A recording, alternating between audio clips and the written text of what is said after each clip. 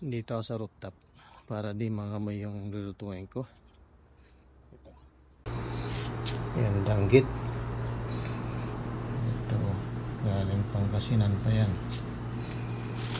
Tapos, siyempre, pusit.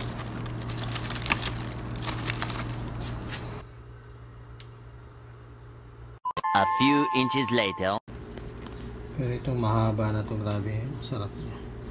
Shoutout sa Pangasinan.